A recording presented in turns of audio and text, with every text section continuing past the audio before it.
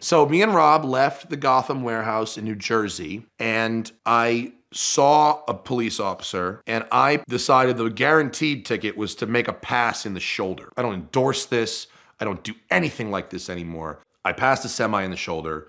Obviously, I was pulled over. The cop came up, asked for my license. You know, he's looking at the, the documents. And Rob did like a Top Gun style Maverick flyby. more days, sir. I'm going it's your lucky day. And it was so offensive that the cop literally threw my license back at me, ran in his car, and chased him.